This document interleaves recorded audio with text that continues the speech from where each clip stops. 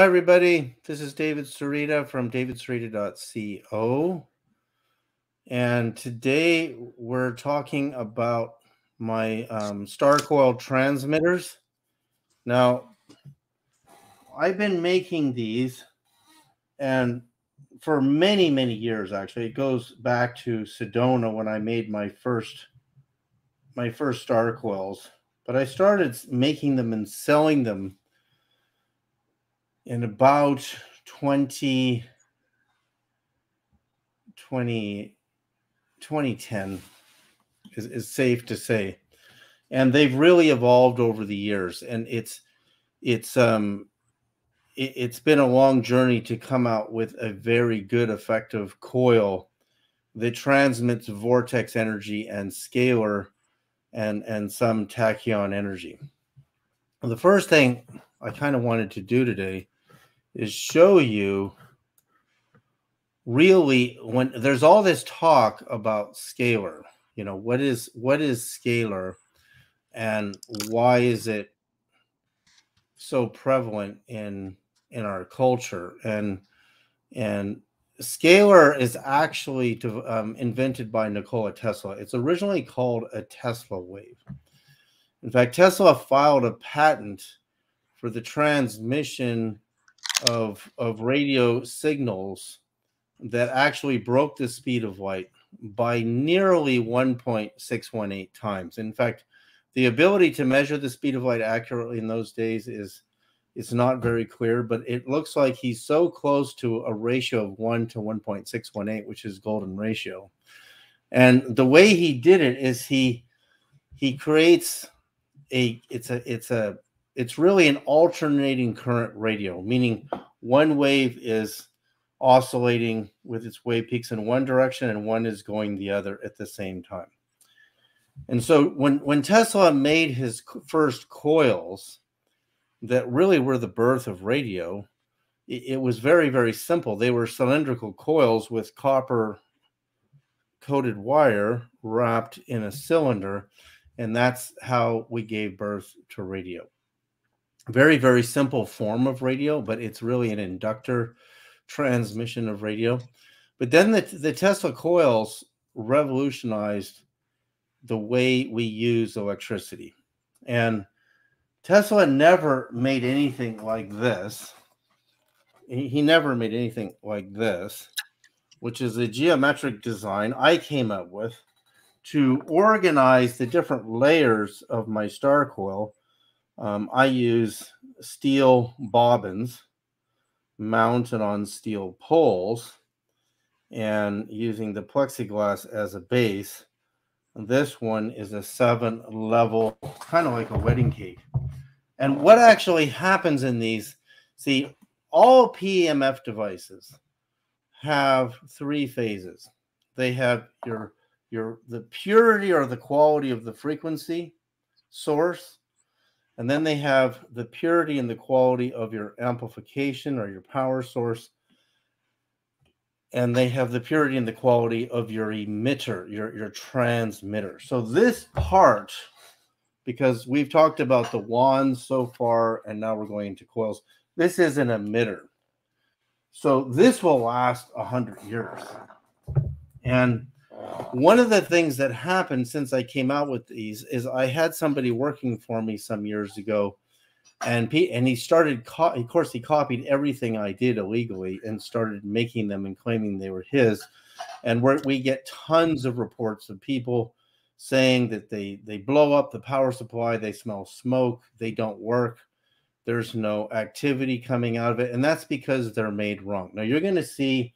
Ever since I came out with this design, there are so many fake copies out there. You really have to be aware as a consumer looking for a good pulsed electromagnetic field device for for specific reasons to understand that most people out there don't know what they're doing. I mean, I was appointed director of the Tesla Foundation by an MIT PhD, Bogdan Castle Maglich. I spoke in the United States Congress on nuclear fusion. Um, as director of the Tesla Foundation, I've studied all of Tesla's patents. I spent years and years researching Tesla. And I, I see so many people getting sucked into buying these really cheap little coils with this little signal amplifier and they're garbage. And here's one of the ways you can tell is put on a good pair of headphones like these. These are AKG and try using a cheap amplifier and listen to your favorite music. You know, you and you'll see it sounds like mush. And that's essentially what's happening if you're using a cheap amplifier. Um, your your frequencies are going to be mush on your brain. So do you want to have nice, beautiful, velvety frequencies, or do you want to have mush? And mo- most of what's out there is mush. And so many people who are making these, they're they're crossing the wires wrong. They don't know what they're doing, and they're getting short circuits, and they're blowing it, and they're selling them, and they don't give refunds.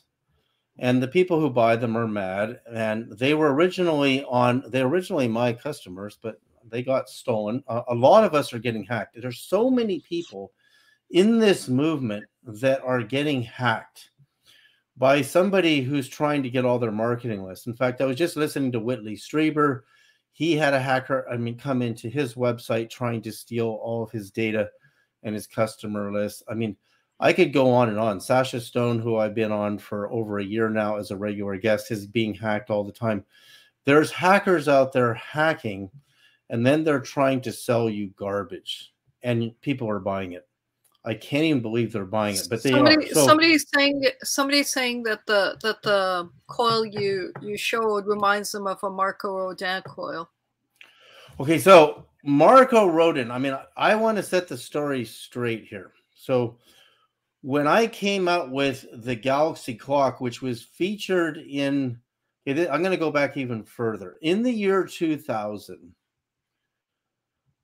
the millennium, the turning of the millennium, I had this blinding vision of Tesla shining with light in the middle of the day, not at nighttime. I wasn't dreaming. I was lying there in my apartment in Vancouver, and there were two other beings of light with him. And he flashed in my mind this model of vortex mathematics that I, I called the Galaxy Clock. And it was featured in my film Evidence the Case for NASA UFOs that came out um, actually came up before the Millennium on VHS and then eventually made its way onto DVD.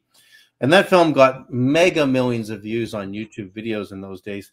And, and that's where I introduced the Galaxy Clock. Now, I've met Marco Rodin in person, and, and he'll tell you this. He said, You have no idea how much your Galaxy Clock inspired me. Now, that doesn't mean I invented Marco Rodin. It means that some of the greatest, like the guys who invented the transistors, John Bardeen, Will Shockley, and Will Brattain, three guys playing off each other's consciousness caused the transistor to be born. If, if any of them tried to do it alone, it never would have happened. Marco Rodin's math is unique and proprietary to mine. But what he told me is, you inspired me. And and that was really wonderful for him to say that to me because – I could say the same to Marco Rodin. You know, he inspired me too. so we conversely inspire each other, but it's important to, to to acknowledge that, right? It's important to understand there's a symbiosis going on.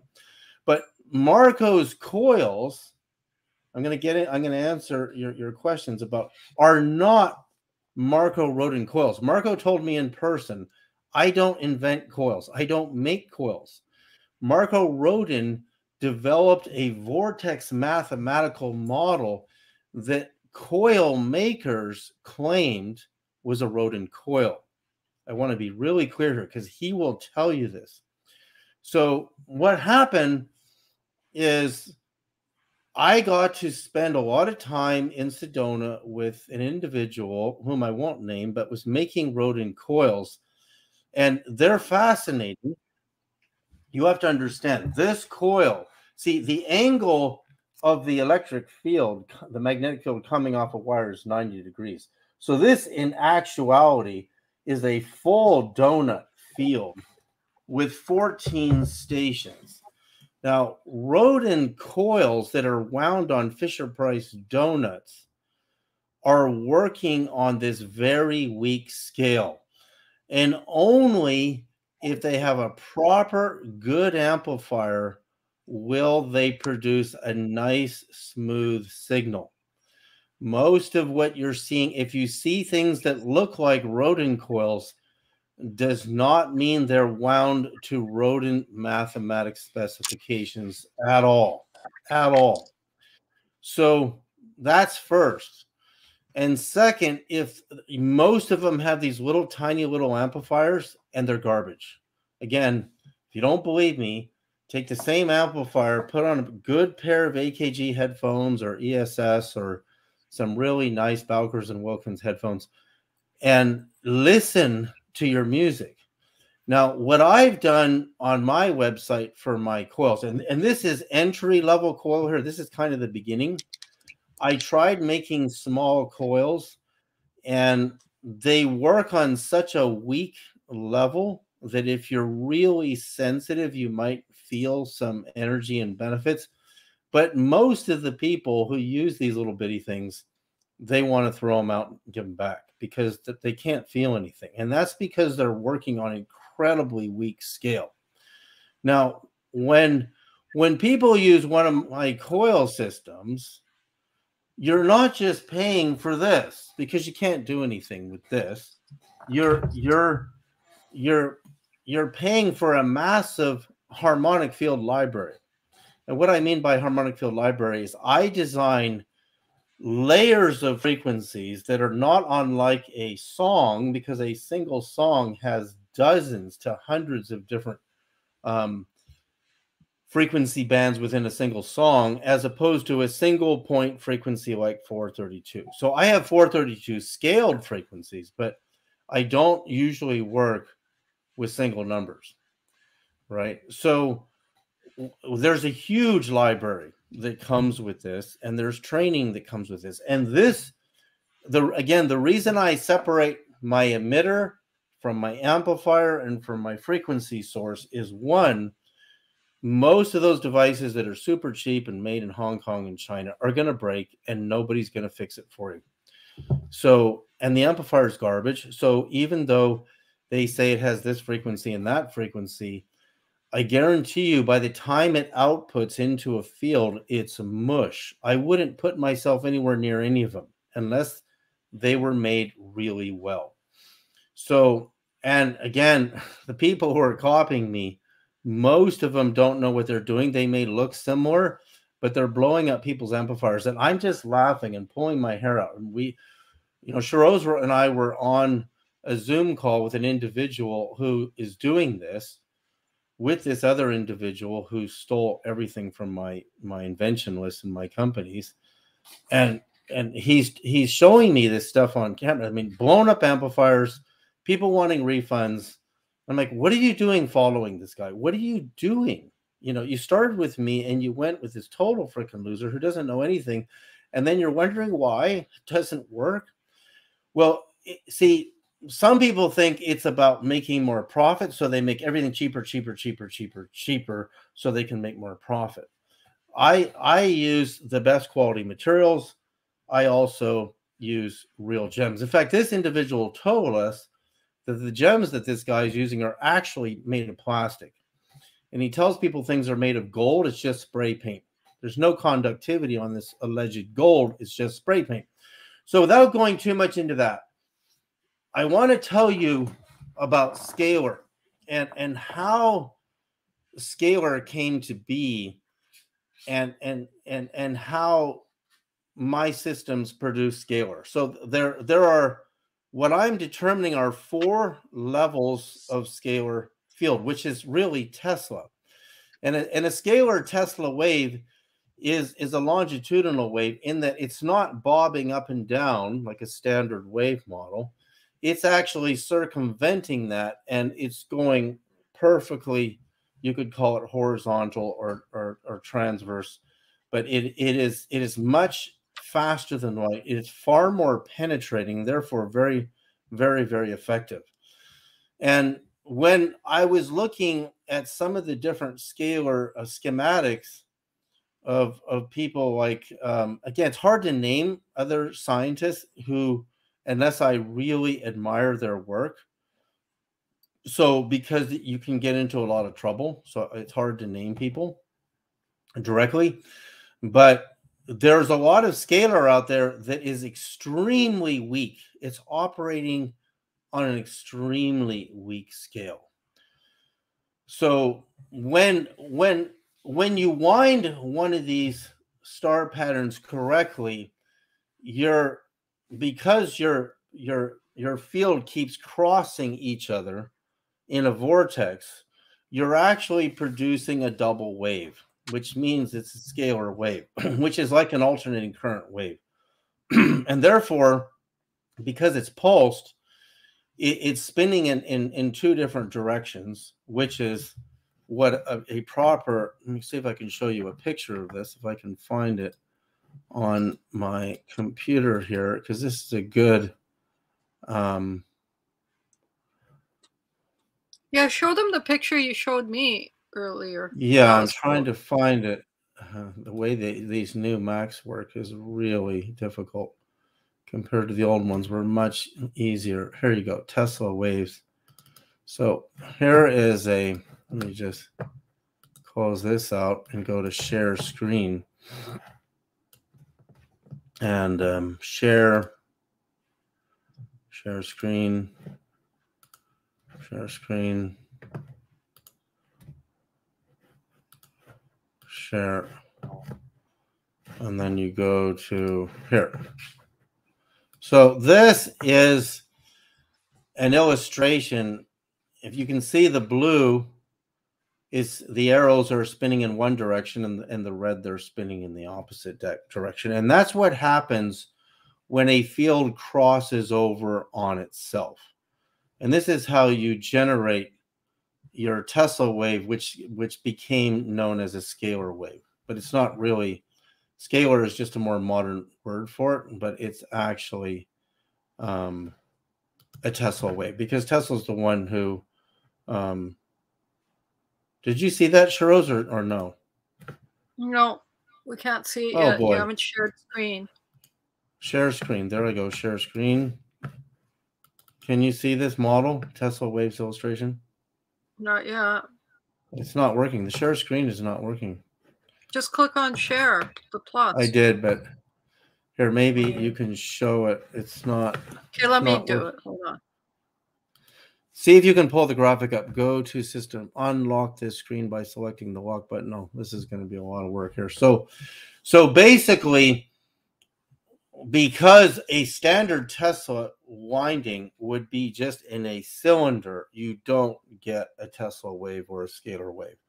But as soon as the wave oscillates over on itself, in fact, Tesla demonstrated an actual radio signal. He filed a patent I can tell you the patent number because I can't do the share screen function right now, but he filed this patent and he he transmitted a signal faster than the speed of light.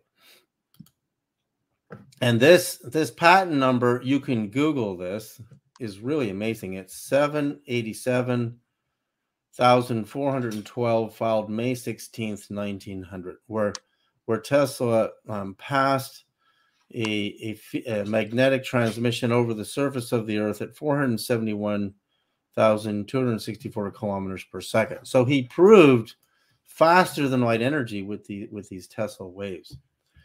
So basically, you there are different levels of scalar that what are called what you are true. Yeah, there you go. So there you go. That's the illustration of a counter rotating or alternating current electromagnetic field variation but on the but it's on the same axis. Notice the axis is in the middle between the blue and the red. They're not out of phase with each other. So this is how this is how you give birth to a tesla wave. And and of course some people don't understand that go this actually goes back to nikola tesla but this this is how you do it. And there's several ways to do that And when a coil or vortex winds in on itself, it, it's actually doing that already. So I call that scalar. My base coil, I would call scalar level one, right? So then the the device that I have, let's go, Sherose, can you go to the website to the cube and Sure. maybe Hold on. um Stop. because I can't I Okay. can't do share screen.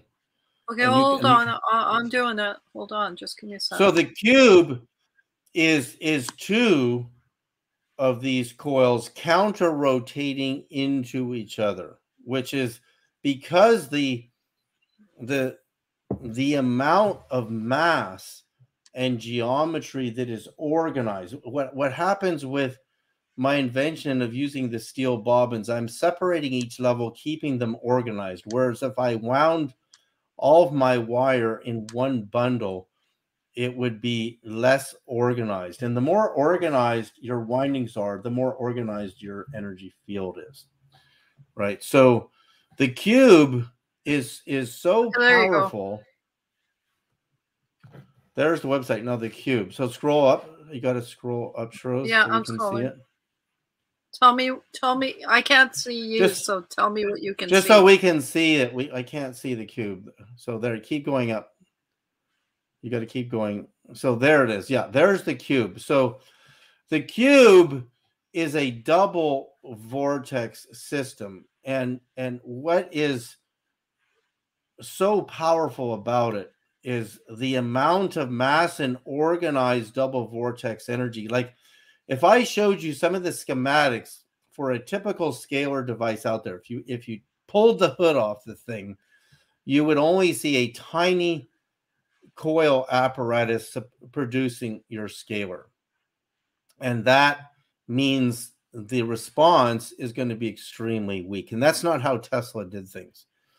Tesla did things using a lot of organized wire.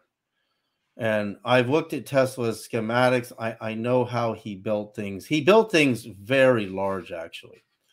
So so this is the cube. Th- There's two two levels of it. It actually has to do with um, levels of access to the frequency library, which is massive. And of course, with the cube, you can also do you can also do um, i mean i can affect an entire apartment building with one of these i can affect It's also entire- the. It's also the second cube is aluminum, and the first one is plexi. is, Remember? is plexi yeah but then the, there's the library size and one of the things you can do with the cube because your picture of you is a hologram you can take somebody's photograph because that's their hologram and through quantum communication if, if you put somebody's holographic image inside the, the, the double vortex can you can you see the picture with the with the cube? yeah they the can Lord's see that picture? yeah that i put a picture of jesus in there and and that means that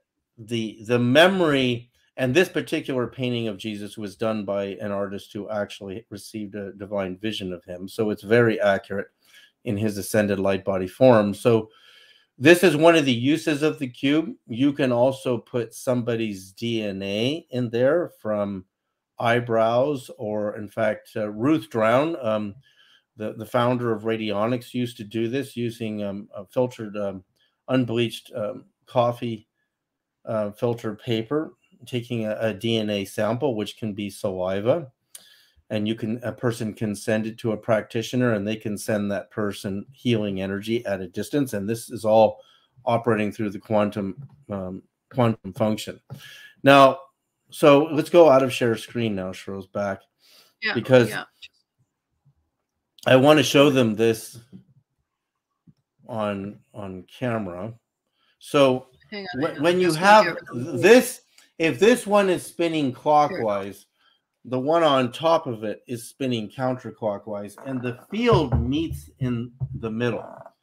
And you can see from the diagram of Tesla's scalar, that's what the definition of true scalar is. It's just the difference between this and most of the scalar out there that I've tested and looked at is it's tiny, tiny, tiny, tiny, tiny, tiny stuff, they don't have enough mass there to to create a big scalar potential field. Now, all living things are scalar.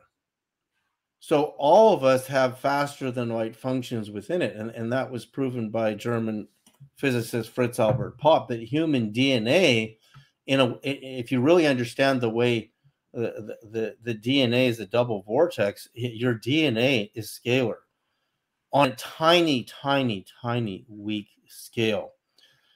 And then there there is so what I call the the third level of scalar that I've developed is actually the technology where the pendants are treated. And it means it generates true tachyon faster than light energies, which is a consequence of scalar. See, if you look at Tesla's radio patent that I demonstrated, he went pretty close to 1.618 times the speed of light. And that means there's a function of one to the golden ratio or one to, I mean, I mean, it if you do the math, it comes to 1.57, which is again the the accuracy of measuring the speed of light back then was so poor. I would like to see that recalibrated today because 1.57 is a function of of um, Fibonacci's series that leads to the golden ratio, and I find that very interesting. In fact, I'm the first person who noticed that. Period. Nobody noticed that.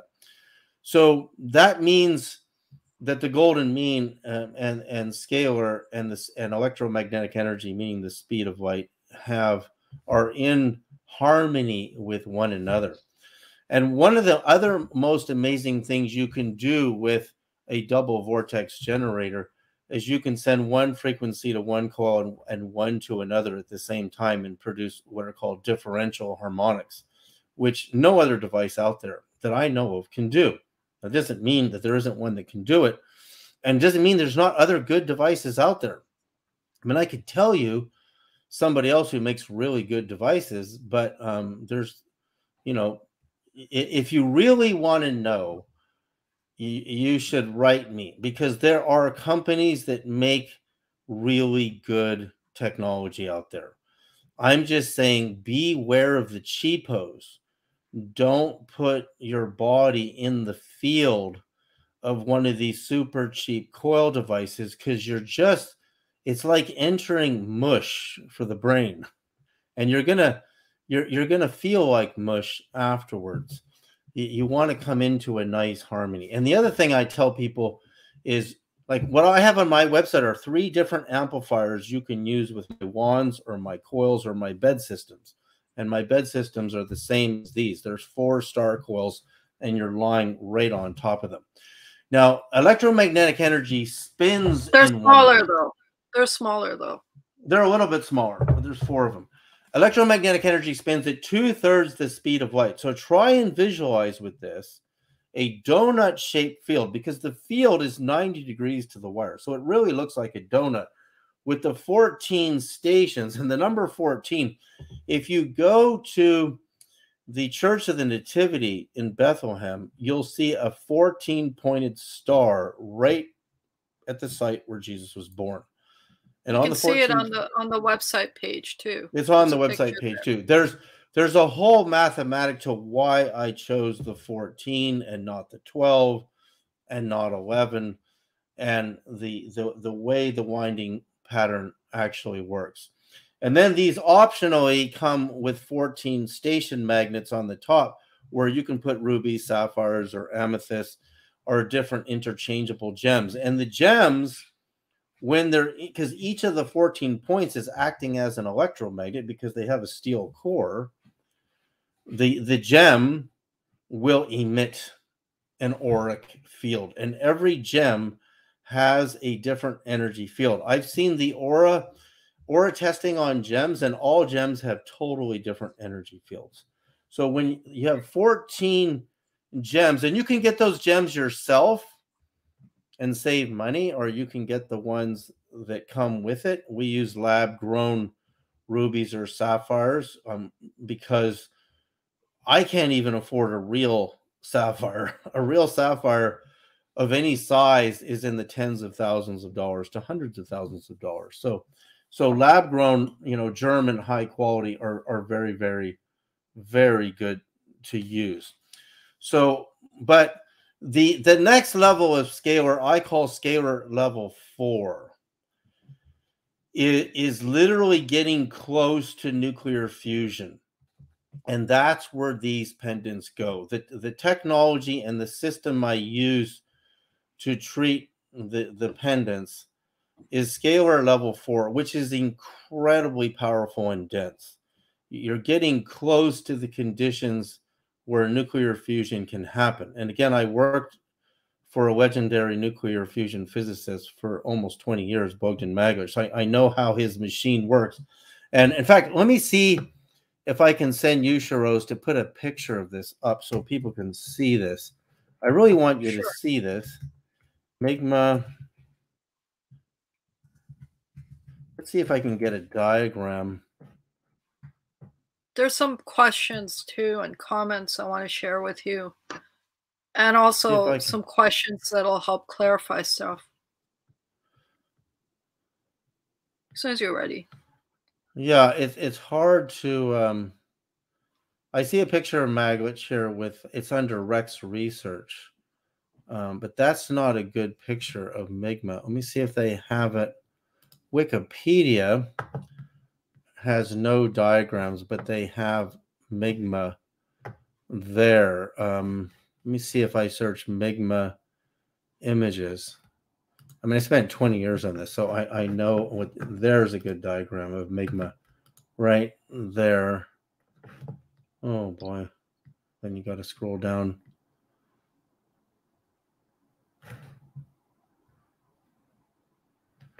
I mean, that, if I could just get this one. Um, here, let me send you this, Sharoz. I'll send this, put this in the chat. And then okay. because I'm, I'm having a problem getting my share screen to work. Um, where's the chat? Under comments. You can send it private chat too, and then I can share screen. Okay, private chat. Go here. Paste. So, I mean, this was my boss for, I mean, I worked with Maglich off and on for the 20 years. This nuclear fusion device would have changed the world. We would have had a cubic meter of a billion watts of environmentally clean power. Can you go to that presentation, Sharoz? Because I really. Yeah, I'm going. I'm going. I'm sorry. I've never done this before. Actually, you know, had people understand how powerful a vortex field and what its applications can be are but um the way everything in the universe stars the vortex pattern of the milky way galaxy everything can be explained with vortex mathematics like marko rodin I mean, marko rodin to me is a genius i don't think we should have. everyone got sidetracked by Rodin coils, but Rodin again, Rodin coils are not Marko Rodin. He doesn't make coils. He told me that in person. He said these are just people who took his mathematics and they decided to make coils with it. But let me know when it shows up. There it is. Okay, let so now scroll down. Here, hold on.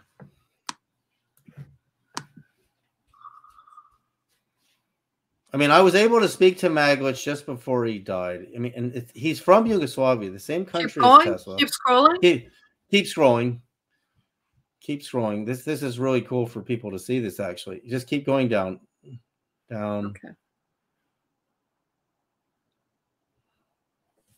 I mean, we were really keep going. There you go. You see right there, right? No, go back up, up, up. You just passed it. Keep going up. You just you went too fast there. Keep going up, back up.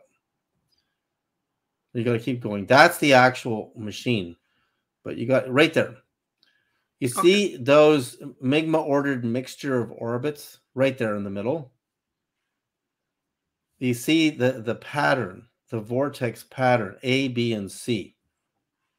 Now B is is really a, an infinite amount of flower of life pattern geometries that the, the, the beam that comes into the fusion chamber creates.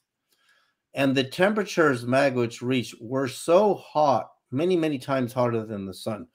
No one could really believe it, but it was all documented at MIT.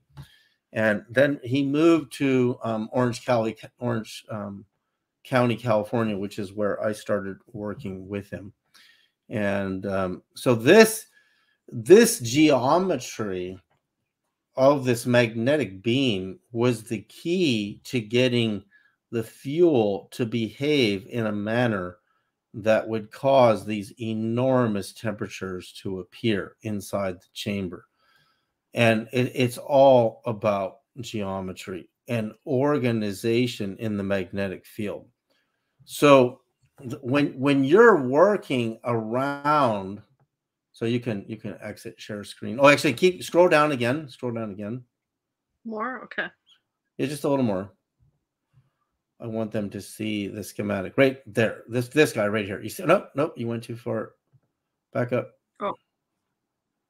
Right there, that one, right there, right there.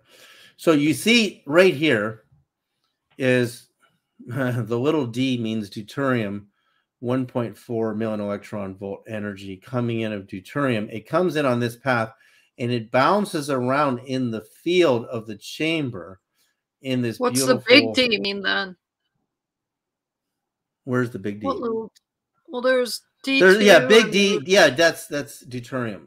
And okay. he, he used deuterium and helium three, but actually he's done he's done so many different tests. He's done lithium, lithium and deuterium. In the end, deuterium and helium 3 was the goal. Helium 3 is an isotope of helium. Our sun is fusing helium and hydrogen.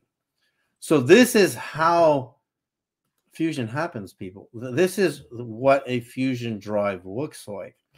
And that is, is very close to what where my pendants get treated. Now, there are so many people out there who worked for me, who were my distributors, and thought, oh, we'll just, you know, sell pendants and say they're infused with energy, and and people will buy them, and we'll use cheaper materials, and and, and these people work for me. And then they went off. They nobody ever saw my lab. They never saw where, where these pendants get treated. But I tell you, it's it's so close to this. That's the closest thing I can show you of what it actually looks like where my pendants are actually treated. And I call that scalar level four. That's scalar level four, which is which is the conditions that can reach where nuclear fusion happens.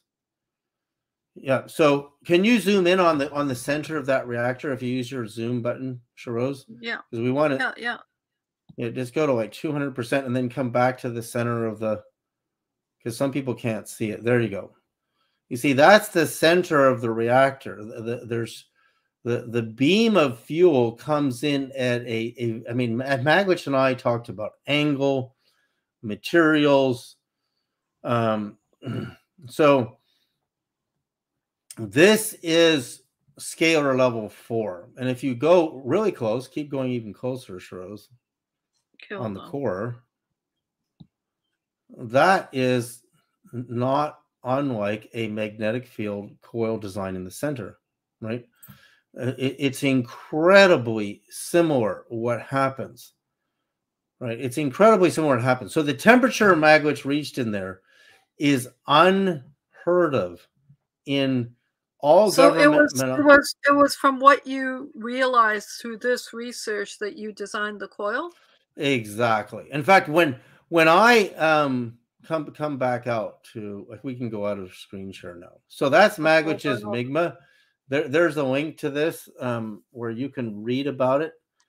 It's an amazing story in itself because after speaking in Congress under Clinton and Gore, we were blocked by Congress. They didn't want this to happen because it would have destroyed the nuclear industry. It, see, we need nuclear power plants that are radioactive to breed plutonium from uranium for nuclear bombs. And they didn't want these non-radioactive cubes, a meter cubed could power a whole city. A whole city. And I was I did all the communications at NASA. Earl Van Landingham was director of propulsion, power, and energy at NASA, and him and I spent hours. He was so frustrated at Congress that, that NASA required the money to do this because he said, We're so bored of these solar panels on the space station. We want a billion watts up there. We want, you know, they want 10 of these things in space because Earl told me that reactor that you just saw could produce velocities up to a tenth the speed of light in slow acceleration. So that's how powerful organized magnetic fields are. Right. So, so David, CERN. So somebody's Sorry, asking about CERN. CERN is a yeah. particle accelerator. This is different. Maglich was part of CERN. In fact, when Maglich saw my coils, because I make these really big, this is a small one. This is the 14 inch base, but I've actually have one on my office wall out there that's wider than the, the span of my arms. It's all mathematical. It's 28 points, and it has a massive field. I can measure it all the way on the other side of the yard. It's incredible. So remember, you the energy the, you can watch the video of it on the website. It's there. Yeah, the the energy is spinning at three quarters the speed of light. So imagine a vortex spinning at three quarters the speed of light. What does it do to a house? What does it do to a building? It takes all your EMF pollution and it reorganizes it and circulates it and recalibrates it to a harmonic. Right now, because of all the microwave towers bombarding us from all directions, people's brains are just turning to mush because those signals are pure mush. They're they're not harmonics. They're not like you know Bach and Beethoven. They are chaotic mush, and that's why people feel like mush. So having one of these systems allows you to recalibrate the energy in in the space, and the cube will recalibrate a whole building in a huge building. It's amazing. Like Tesla had devices that could change the energy of an entire building. And and some of these devices were were very very small. But in those days they didn't they didn't even think of electric field pollution. See, to answer the question about CERN, CERN is a particle accelerator where I've studied particle physics. I know all the particles. I know what they do. I've, I've, I've gone through each one measured wavelengths, looking at particle antiparticle pairs. I mean, this is what Maglich did. He was a particle physicist. He was a he received an award from President Kennedy for the co-discovery of the Omega Meson with Louis Alvarez at Berkeley. And these guys were the champions of particle physics. And then you had Glenn Seaborg and Albert Ghiorso, and and and I was able to sit down with those guys. Um, and and and talk to them about my UFO sighting in Berkeley in 1968 at the Lawrence Berkeley Lab. That was an incredible experience. So when Maglich saw my coils, this is what I was going to tell you the story. He wanted to enter it into a, a contest at CERN. There was a contest at CERN that was open wow. to artists who would do an internship if they won this contest. And Maglich thought I should win but when they Googled my name and I submitted uh, my one of my really big coils, they they found out that I was interested in UFOs, and so they decided not to to submit me. Oh. But but he thought it was they were so beautiful. He thought you know these should win, you know, the prize at CERN for the open call for artists, which they did years ago before he died. So I'm gonna I'm gonna share questions with you, and then I have okay. some questions if they don't get answered here. But so well, before I them, before you do questions, before you do questions, so we have these are 14 inch base. That's the plexi base. Then we have 17 inch, and we have 24 inch. And as an installation, we can make really huge ones that are are really beautiful to look at and very very powerful. And then we have the four coil system that people lay on in the bed. So that's the you didn't those you are didn't, all you didn't talk you didn't talk about the cube bed combo either as a med bed. Yeah, well, the the uh, when you really understand scalar, when you really get it, the, the cube and the bed combo. See, most of the med beds that we've investigated, they don't come with very many frequencies Like my frequency library is so huge, I'm going to have to give a whole talk just as an overview of everything that's in my frequency library. And again, I use harmonic fields, which are very different than frequencies. A harmonic field is like a song, whereas a frequency is like you have your guitar and you're just going bing, bing, bing, bing, and you just keep repeating the same string. That's the difference between a single frequency and a harmonic set. A harmonic set is a whole song, and it, it's far more powerful what it does to you. So, so Tesla, yeah, Tesla eventually got to a toroidal scale? Question mark. I don't. In all of Tesla's patents, I don't think he developed. See, this is a toroid. A toroid means a donut. it, it is. It, that's. But there's the the test the Rodin coils you see out there. Most of them are not wound properly, and they're working on an incredibly weak scale. But there are people who know how to make them and they're very good. And i i have i have one that's almost this size. I've tested it next to my smallest 14 inch coil here and it doesn't perform as well but that doesn't mean you couldn't make a Rodin mathematic style coil that is big and much more effective. You could, but they would cost a lot. Right. And again, people are getting sucked into $500 coils, $1,000 coils. And uh, um, I, I wouldn't put my body near mush like that. I, I I'm very impressed with Rodin coils. Again, I'm making because I know I met Mirko Rodin. They're not his coils. They're people who use his math and some people use this math correctly and some don't. And the ones that don't are going to give you mush. And and I would um, stay it, away. Go ahead. With, is it similar to a Merkaba spinning? I, sure, sure it is. Okay. Because our, our, this is spinning at three quarters the speed of light, but the See, that's the magnetic field encountering the resistance in the copper because electromagnetism uh, encounters what's called the refractive index. And what slows electromagnetism light down the most is a diamond, right, which is carbon. But you can slow light down even more than a diamond in an Einstein Bose condensate. You can slow it down to almost zero where it's frozen. Why is the diamond so bright? Because it's slowing light down. So therefore, it has a high refractive index. So, but also, I should go back to the cube for a second because the cube with the two metal plates, if you watch the video on my website, I'm running these two binaural beats, which are resurrection frequencies in the Bible.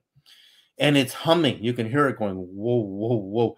And the reason it's doing that is the very thick aluminum plates are paramagnetic aluminum is a paramagnetic metal, just like the copper wire. So it's actually causing the aluminum to physically vibrate. And the speed of sound and vibration in aluminum is over 11,000 miles an hour. So the vibrations in my aluminum plates on my cube are going, you know, uh, minus the resistance of the dimensions of the aluminum plates they're they're vibrating amazingly fast. Those physical vibrations in the aluminum are so so fast. So that means you've got a whole other vibration happening. And then when you add the gems to it and the crystal, like you can put a really nice crystal in the center of your vortex. And again, the magnetic field will excite the electrons and the crystal, and the crystal will emit an aura. If you had an aura camera when this is turned on, in fact, we actually did this last summer. We use this incredible software to see the aura coming off the coils, and it was incredible to see it. Mm-hmm. See, I can I can put this big quartz crystal, and you can buy these yourself right on top of here and I can set gems all around it. And in, in the space of a half an hour, if you pick one of these up, you're going to feel a whole new energy. It will radiate off of this for about an hour. And this, and you can put this on somebody's body, you can put it on on you know energy points on the body, activation points on the body because it's been it's been activated by the field for a half an hour, but then it'll wear off. Whereas these don't wear off. This will, but still, this is very useful for practitioners who get one of these systems and you have a client who wants to do a treatment. So the, the, you can put crystals all around this and they'll get really active and then you can work with them on people's on on people's bodies. Do you need so, a receptor unit with your coil? Well, you need an amplifier, yes. Yeah, I have three amplifiers I recommend on my site. The weakest one the smallest one is tested. I'm actually amazed at the quality of that little thing. I'm again, I test everything with headphones. Then we have a Kinpu tube amp, which really blew my mind with good music. So I knew my signal was really good. And third, the Yamaha, which is the most expensive. Yamaha make some of the purest amplifiers made. They just do. I know they're a common name, but their total harmonic distortion is so low and if you, I mean, I, if I can, I could give you a good pair of speakers like KEF or and, and they're they're you know lower end good, or I could give you Klipsch or I could give you Bowers and Wilkins. Now, I can have you play your favorite music with all three of these amplifiers, and you're all going to pick the Yamaha. you are, but it's all it's more money, right? And I could mm. tell you that most people out there, these little bitty amplifiers with these little bitty coils, are total trash. We would never use it on the human body. But if you if you're a practitioner or a healer and you want to work with frequencies, I would get the Yamaha. But there are many good amps. In fact, you can go on eBay, and Yamaha are not my favorite. My favorite are Bob Carver amps but they don't make them anymore. You can find old Carver amps on eBay and get an electrician to fix it up. And you, listen to speakers with Carver amps, and they sound like a whole new speaker. I, I had a friend in LA, and he told me he needed to get a whole new stereo. And I said, These are good speakers. Your problem is your amp is garbage. So go get a Carver amp. They sold them in those days. His stereo sounded like a brand new system when he put a Carver amp on his speakers. So that's how important the amp is. And why do I separate the the frequencies from the amplifier and the emitter? Whereas most people out there are buying this plastic console, this cheap, made in who knows where amplifier, and a bed, a mat. And I'm like, I would never lie on that thing. It's freaking garbage. I want a good amplifier I want a pure frequency source and I want a quality emitter. And I don't I don't have any way of getting investors to make my own amplifier with my own name on it. I just can't do that. So I can tell you that just about any good amplifier from the 80s, you can find them on eBay. You might only pay a few hundred bucks for them. They're really good, like old Kenwood amps. Oh my god there's so many good amps out there. But but when i see people buying this garbage and these little coils and they think they're Rodin coils and they're not. Those are not wound to Rodin's mathematical specifications. Some of them are. I'm not going to tell you who has the good ones and who has the bad ones but i can tell you there are good people out there who make good Rodin coils but they're not so marko can, Rodins can you spread a love vibe around with that cube to help Earth help the Earth plane? Well, see, one of my goals was to get enough of these out there that we could set dates and times where everybody turns on their coils or cubes at the same time, and you would create a very powerful event. Why? Because at the speed of light, it, it's 7.83 times a second and you're you're going around the earth 7.83 times a second. So you're going around the earth once and 1 over 7.83 right? So there that means that if when these are transmitting they're transmitting around the planet. And when they're all at the same frequency, they're all in communication with each other. But you know what happened when I had my business stolen and everybody all these people were copying me and and Sharoz and I in the past week have found so many of them and they're so cheap. It really it really hurt my goal to to reach where I wanted to go because the customers became confused. And so I don't know what to do. Was I it mean, wasn't Tesla Tower a toroid a toroid a toroidal? Well, the the top of like all the, the Tesla coils, tower. you yeah, the, there's a torus up there, but that's not a coil. It's it's most Tesla coils have an aluminum toroid at the top, but but the the cylindrical part of a Tesla coil is a cylinder, and a cylinder is not scalar. But if if Tesla used an alternating current power source to transmit radio, it becomes scalar. And and I'm looking at his patent, and I think that's what he's doing. So remember, alternating current is what we use to light the light bulbs in our house. It's all AC, whereas everything, you know, micro like your computer is DC. So when you plug it into the wall, it has a rectifier and it, it converts the signal from AC to DC. Uh, you have a transformer which transforms your, your your current and your voltage and your rectifier and and then it's this is a very your computer is a very weak device it's not using really that much power so it, it has every single electronics device has to have the transformer rectifier process and then you have resistors these little tiny coils that basically are making sure that only a certain amount of energy enters the circuit so it doesn't blow everything up. So, when Timothy, to answer your question, when people buy my coils, they get my library. They get they get all the frequencies. Uh, so you you that's what you're really paying for. I mean, the coil itself isn't worth what I charge for them. Um, although these are made by me and one other jeweler in Sedona, Arizona, and somebody else where I live in Canada right now. So they're handmade, so they're more expensive to make here. I beg to differ. I believe I, I say your coils are priceless. They are absolutely worth what they pay. Well, this, well no, that's just the I'm ta- I'm talking about. This is the emitter. Then you have to buy your amp, but then when you buy one of these, you're getting the whole frequency library. So you don't have to worry about how much does this set cost and how much does that set cost. You get all of them.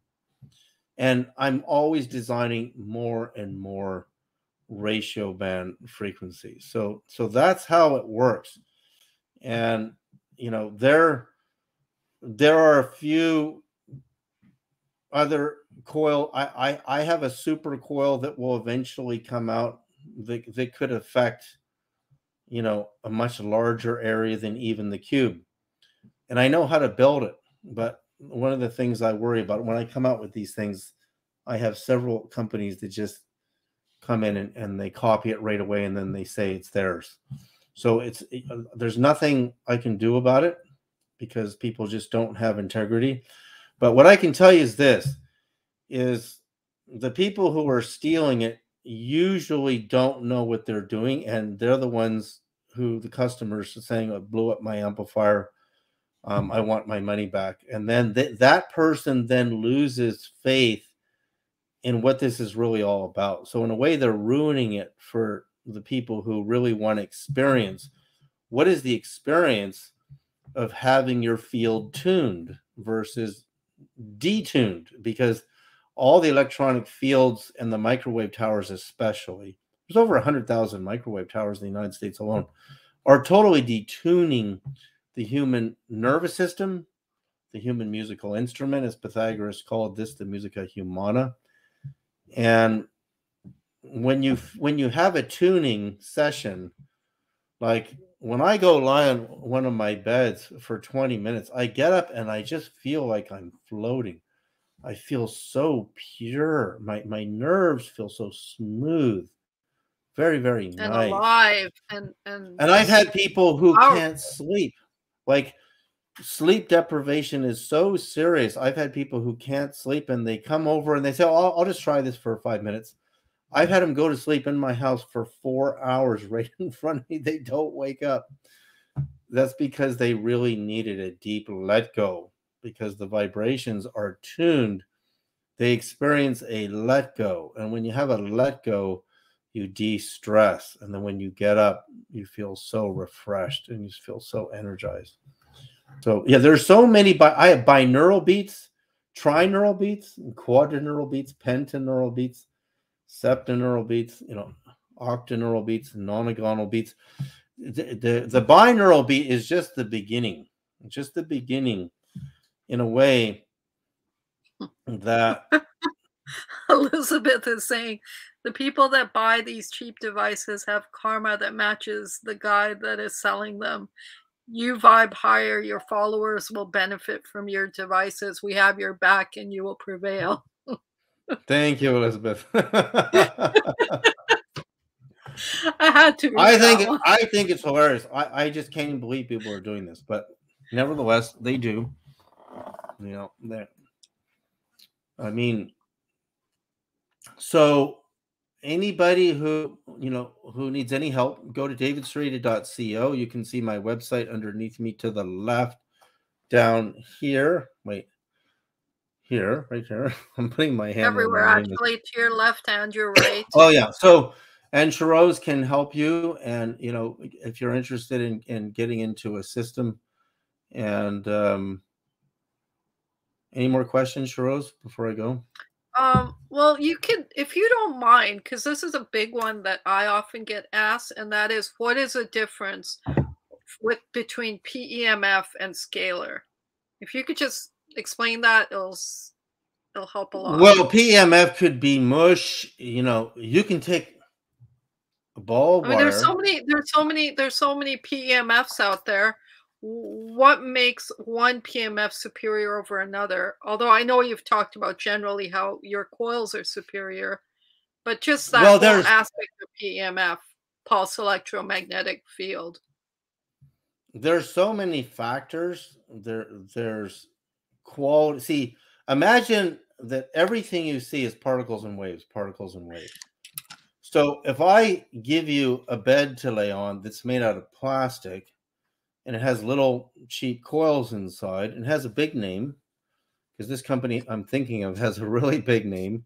And I'm thinking, do I want a wave to go through the plastic and share the vibration of plastic with my body? Because my body's particles and waves, the mat I'm lying on is particle waves, and then my PMF is particles and waves. So one thing we know like about studying the this was all done at Bell Labs in the early days and um, they studied the, the, the secret properties of every material on the periodic table of elements, and every single element on the periodic table has a proprietary series of qualities. Qualities. Now, again, you can eat organic food or you can eat um, succotash, which is mush. That's what they feed you in prison, which is corn slop. And the corn slop could be made out of, you know, rotten corn or it could be made out of good corn. So, do I want an energy wave to go through a cheap plastic mat and carry an oil product, which is what that plastic is, vibration into my body? Because to a pulsed electromagnetic field, everything is reduced to energy. So you're an energy system, your nervous system is an electrical system. You can measure voltage and current on your fingertips and your earlobes and your skin, the galvanic skin response. And um, thanks, David Armstrong. I, am so glad to see David Armstrong here. Thank you so much. He's an incredible, incredible musician. There's a guy who's a musician and knows what I'm talking about. If you listen to your music on a good amp versus these little cheap mush amps, your, your David's music is going to sound like mush. I mean, you listen to it on a good Yamaha amp or a Carver or NAD. There, there are a lot of companies that make good amps. I, I really like Yamaha, but there are many. My favorite is Bob Carver, but they don't make them anymore. McIntosh made, not Apple Macintosh, but McIntosh made incredible speakers and amps. So think think of a coil as an emitter and and think of your amplifier producing a beautiful quality because harmony and in your signal and then think of what are the materials. So i put my beds in in cotton canvas liners. Why? Because cotton is natural. Um pvc is carbon. Carbon is what diamonds are made out of so i don't mind that. Um, wood is really nice.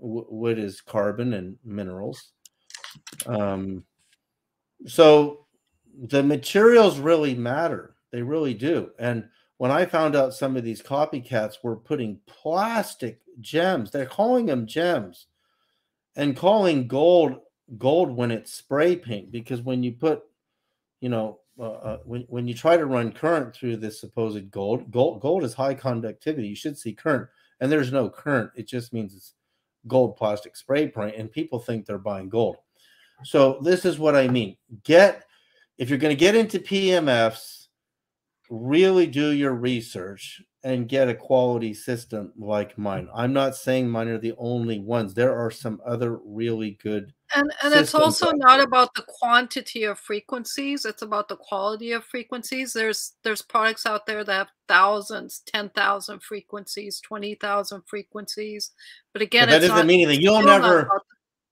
you'll never know what that means. If somebody's saying there's 10,000 frequencies you again working with one frequency at a time is like plucking your guitar or your mandolin bing bing bing. Um, there may be a certain benefit to that but a harmony is far superior to to that.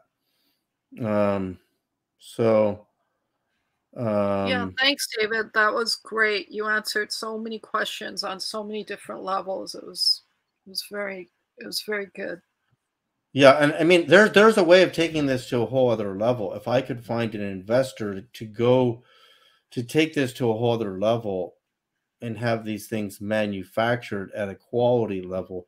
Like here's another thing that went way down in quality is when you saw the amethyst biomats come out I was really shocked because thanks, Peggy. I was buying amethyst in stores and putting it in the sun and it just turns clear and you can see all these inclusions. This is real amethyst. This is a real amethyst pyramid.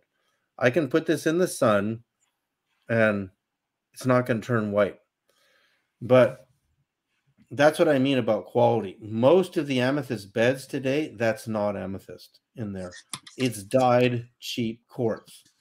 You put it in the sun, it'll turn white. It means it's dyed because the stone gets really hot, it melts the dye, and the dye comes up. I've done this. I've got tons of quartz around here that I bought online. So I know where to get real amethyst. And these are really nice pyramids. I had these made, and this is a nice real amethyst. But there there's so many fraudsters out there selling you garbage. I remember that one time at one time last summer you bought all those amethysts and and and they, they all, all turn just, white. Yeah, they yeah. all turn white. So they're they're and you're paying what again when you're going to get the real stuff, it's going to cost more because it's quality. It's going to last more. This coil will last 100 years if you don't scratch it with a knife and drop it and play football with it. I mean, and then your amplifier might last you 10 years, 20 years if, if it's a good amp, and then you get another one, and then you still have your emitter, right? But when you buy these devices where it's all in one in a plastic console, and when it breaks, I mean, you might have paid eight, ten thousand dollars for it. Who's going to fix it? Like, and and why are you lying on a plastic mat? I don't want to lie on a plastic mat because I, I don't want plastic vibrations going in my body unless it's pure carbon. But um, again, even amethyst. I I tried to get lab grown amethyst in sheets because lab grown amethyst is real amethyst. Like we use lab grown rubies from Germany that are really really pure but they're not cheap either. But it, you can go on Etsy and eBay and Google and buy lab grown rubies, and they're probably just glass with some dye in it. Put it in the sun, see if it survives the sun test. If it does, it's probably real. If it's plastic, it'll it'll survive the sun test, unfortunately, um, because plastic won't get that hot in the sun. But there's people out there. We know who they are. They'll sell you plastic gems, sure, and gold spray paint and tell you it's gold. So you can do that if you want to. I mean, I'm just telling you, I'm I'm amazed how many people want to do that.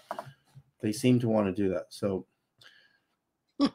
if you want the real deal, talk to me. And um, there there are many other companies that that I'm very impressed with. Like I remember years ago, before I developed a single device, there was this alarm clock you could buy. They sold it at these you know big new age conferences, and when you plugged it in, it recalibrated the electrical field in the electrical grid in your house, and you would sleep better and I swear to God, when I plugged that thing in, the energy in the house was so smooth. I don't know who they don't make them anymore. I don't know who figured it out, but it I slept better and then I would unplug it. I'd say this has got to be a bunch of baloney. And then you could feel the difference. You know, so how that's, that's a good question. I often get told that, you know, it's just it's just um a placebo. It's not real. What do you respond to that? Well, what's amazing about placebo studies is that yes, the mind is powerful. But when you have to understand, at Dartmouth College, they measured the magnetic field of the human heart using SQUID magnetometers, and there's a real magnetic field there. And HeartMath Institute has done this too. The human brain has a magnetic field, very, very weak. And that means when you're in the presence of a tuned large magnetic field, whatever you think is going to amplify. Like I I had I had a person recently use one of my beds for free and she never she barely used it. And then she said, "See, it didn't work." She didn't she didn't want it to work. And I said, "How often did you use it?" I said, "Use it morning and night, 20 minutes." No, I didn't really use it that much.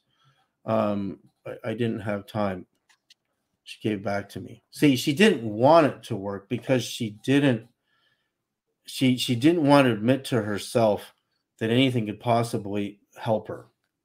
So fine. So there you go. You cannot if you go into a magnetic field not believing, you might get no results. So what is placebo? So I'm answering the question. What is placebo? Placebo is if you think you're getting medicine, you might think positive for a change. And that positive shift has an impact.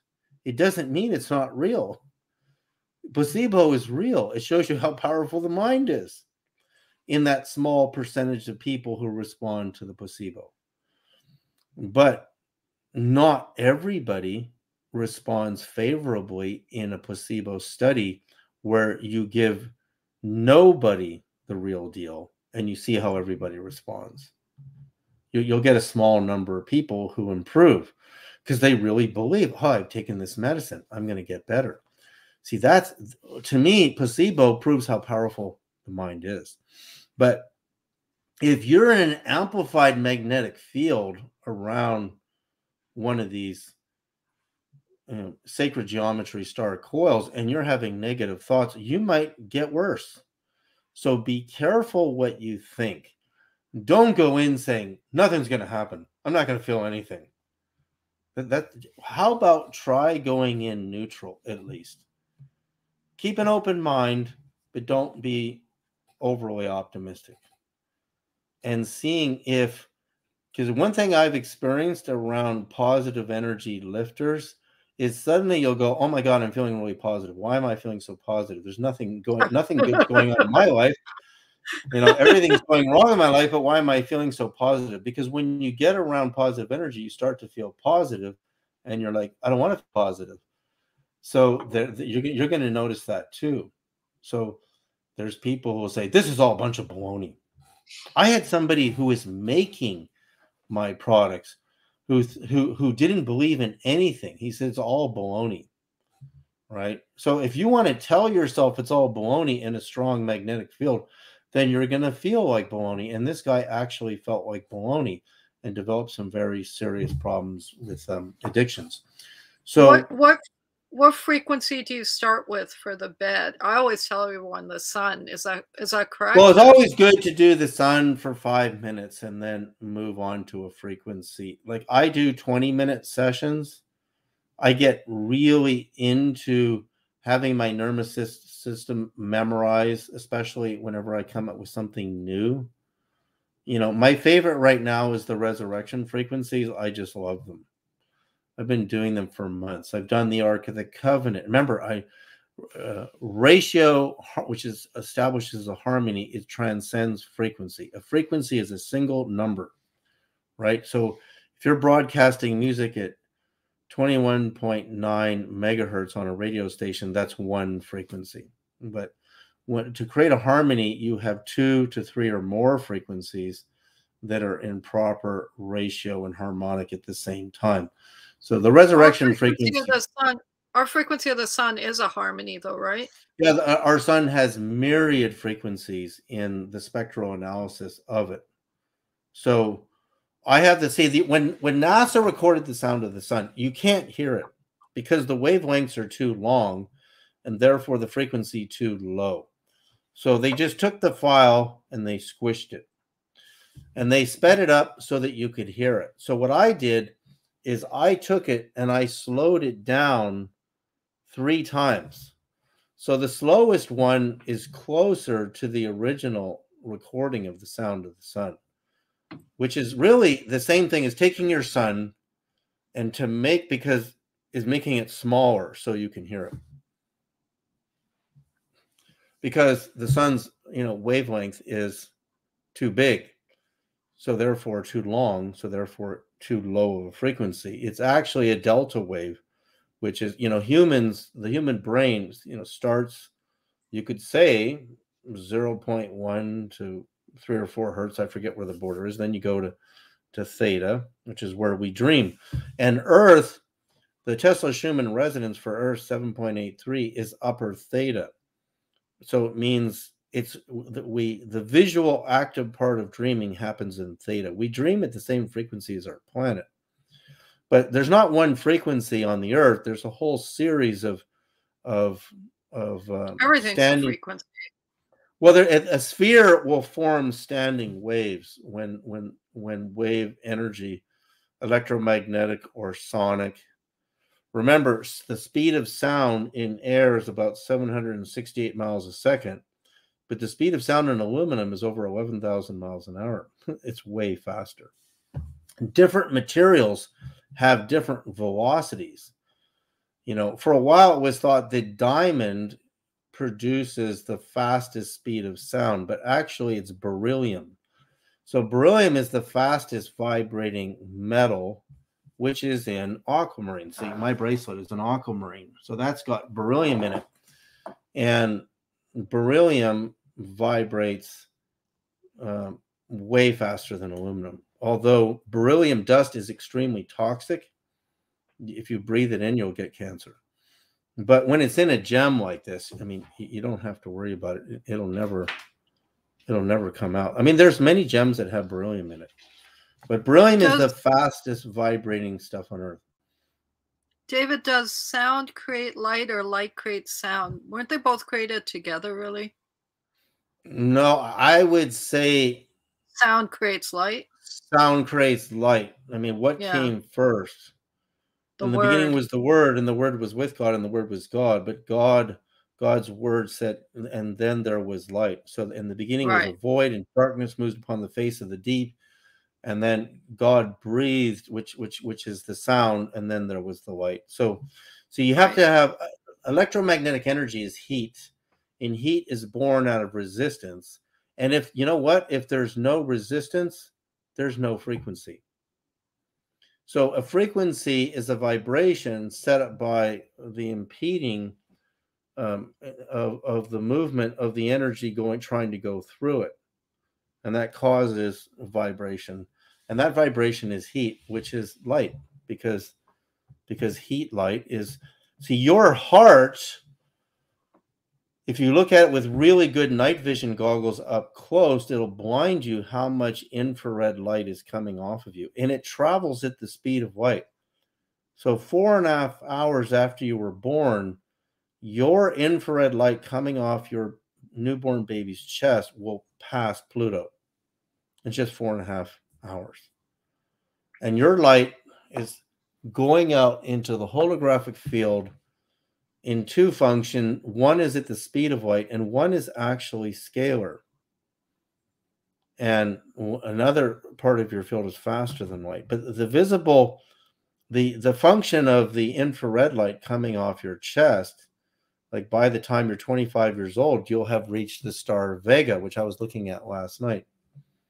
All right. So you're but your light is going out in holographically in all directions. And all of your biophotons because they're quantum entangled they communicate with each other instantaneously circumventing the speed of light. So you have a sphere around you from the time you're you know eight and a half years old your light has already reached sirius a and b. So your hologram is who you are. And the older you get, see, I'm 60, so my my holographic light is 60 light years away. But that's the that's the more basic component. But the scalar part of me is much further than that. And that, that you, when you really realize that, you are this you were one with the solar system at four and a half hours after you were born. Where our fields, all of our fields are somewhere in the local star groups right now. We, we what, have that. What distinction? Power. What dis- What distinction is the scalar part then? I think it's the double beat in in the heartbeat. The blah, blah, blah, blah, blah, blah, like the it's the double beat. Oh, the heart is the center of the wave and there's a double beat in there. It's not just beat. Listen to your right. heart. It's love dub, love dub, lub dub. And and that's there. There's there's one field in the heart spinning one way and one spinning the other way. You know, you have you have. Um, um, I mean that that's there's really good studies done at HeartMath. I mean, it's really impressive what that organization has done with studying the the the sensitivity and the receptiveness of the human heart energy field. So this will really trip you up. That's the last thing I'm going to tell you because I'm going to start talking about this. So let's do a chart, visualize. So when you look at Vega, the star Vega, which is, you know, if you're in North America, it's rising in the east every night these days. And by the time it's getting dark, if you don't have clouds like I do, you'll, you'll see it right up in there. It's, it's about 25, 26 light years away. So that means you're seeing it 26 years ago. So we're actually not experiencing anything except for in time, which means we're only we're in we're trapped in time. Now, if I look at if I go from Vega to Sirius, I'm seeing it as it was 8.7 years ago. If I go to Alpha Centauri, I'm seeing it 4.3 light years ago. I'm not seeing anything right now. And then if I go to the sun, I'm seeing it eight minutes and 21 seconds ago. And then if I go to the moon, I'm seeing it four and a half minutes ago, somewhere around there. So then when I get to my teacup in front of me, I'm seeing it a nanosecond ago, billionth of a second ago. So where's now? You can't see now. But you can, the human heart can feel now. The real universe, we don't see it. We're actually trapped in a time dilation function, and we don't actually know what the real time, the real universe looks like. We're not in the real universe. We're in time. And and and this this is going to open a doorway because we're seeing evidence of this in the UFO phenomena of real time dilation by these these ETs. And when I was a physics student, when I was very young, I wrote a paper on time dilation that was mathematical, and you know, my teacher read it and said, you know, this is grade 12 physics. He said, this is way ahead of where you are right now. This is Einstein's time dilation that you've done here. He goes, How did you do this? And I said, I did it myself. And I really understood it at that age, right? And wow. and and so from then I ended up studying physics and Tesla on my own and working for these legendary physicists at the Advanced Physics Corporation in Bogdan Maglich and it was so funny when I worked for Maglich. I never told him I studied physics because my job wasn't my uh, my job was military communication and communicating the technology. So I had to know the technology, I had to know how it worked. And one day he decided, I'm just going to give David this math problem this long, and he handed it to me, and he said, "You can't use a calculator." And I handed mm. it back to him, and he said, "You got it right." And he said, "He goes, how did you do that?" And I said, "Well, that was easy." what you gave me was so easy. So that's not hard. I said, I know you know how to do way harder stuff than that. But see, my job, I was not a physicist, but I had to know how the fusion.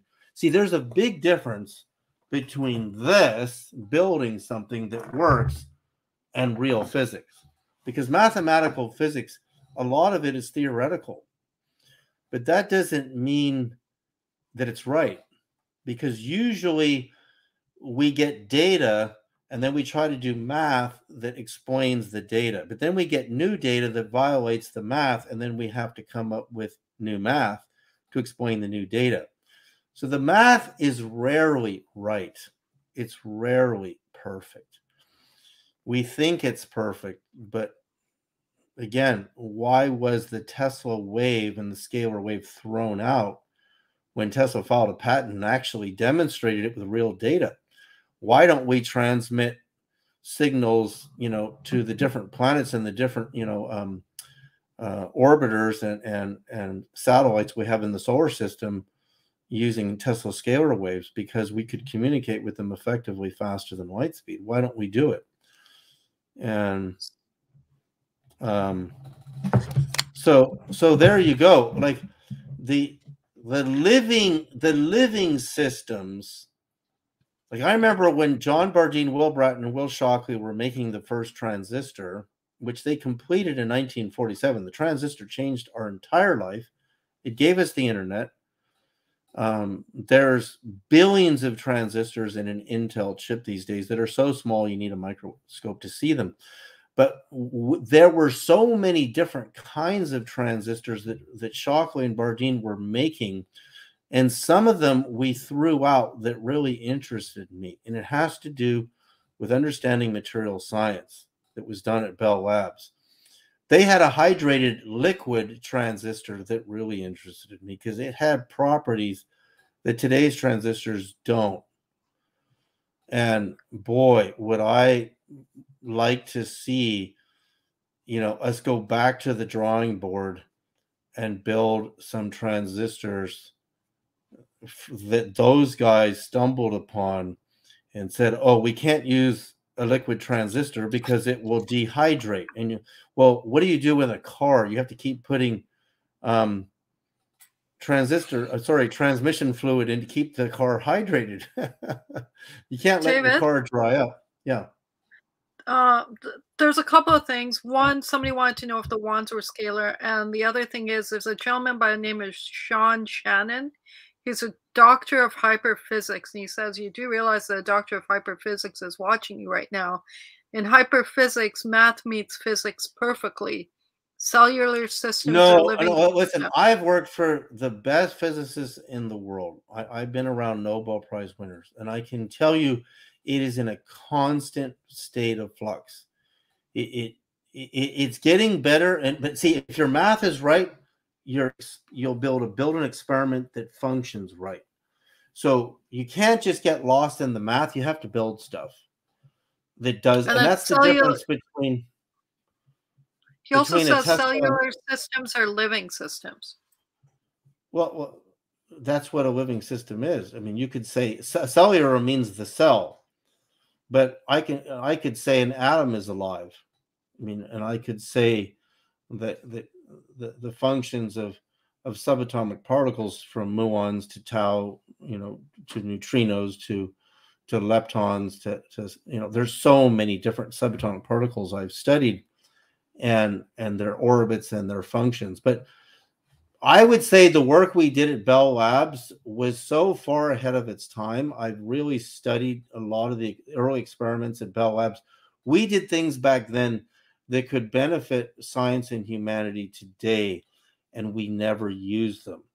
And that's what I'm telling you about the transistor. It there are materials that you can make transistors out of that could revolutionize the world today but we just kind of said, this is what we need transistors to do. We have NPN, negative, positive, negative, positive, negative, positive. In the beginning, transistors were amplifiers to, to amplify weak radio um, signals, and now they're just gates.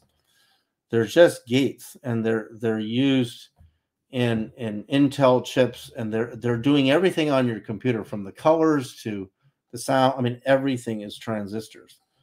And if we didn't invent those things, these three guys, if they didn't play off of each other, we wouldn't be where we are today. And I'm saying there are experiments they did in those days. Um, there's experiments we did in those days at Bell Labs that we could still benefit from today if we go back in the history books and we see some of the data they got. Yeah, so Jersey, Sean says Sean says, or Sean, Doctor. Well, I, I, I appreciate who Sean is saying he is, but I, I, I maybe we could ask him to contact you, Sharoz, and, and maybe yeah, inter- yeah, inter- interview him if he has something yeah. valuable to say. I just want to close this session about the coils, but if, if he has something valuable to share, he can reach out to Sharoz, and we can we can see what he wants to talk about. Maybe we can do an interview and let him Absolutely. and let him talk. Yeah. So, De- so thank you, everybody. No, that's the point. Okay. Okay. Yeah. Please. Thanks, David. Thank you. Thank you so much.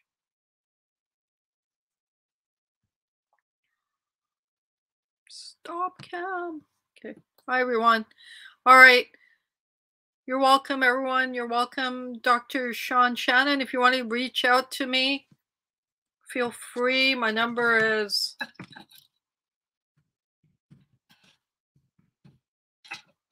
or you can just simply call the, you know, email at the website or message at the website. Uh, Timothy, if you like, I can call you. I'll connect with you on LinkedIn as well, and we can go from there. Anybody else have? Absolutely, most welcome. Um, yeah, that's my number. So you can call or you can text me, and at least we can nail down, you know, a time or a date. And Timothy, I'll connect with you on LinkedIn. Anybody else have any questions or anything I can help with before I go? I'm starving.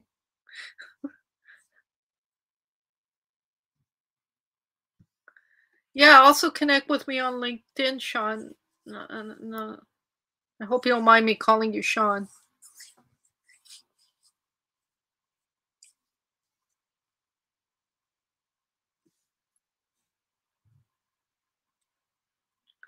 Anybody else?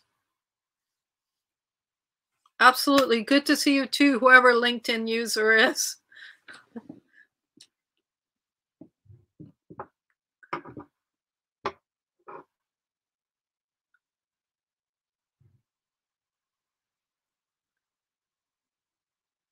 Oh, I still want to set up a meeting with David soon. Okay, David, then just please, uh, you also give me a call and we'll set it up.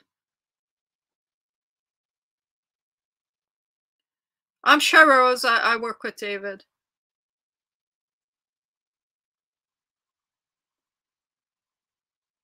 Who who's LinkedIn user that's saying good night?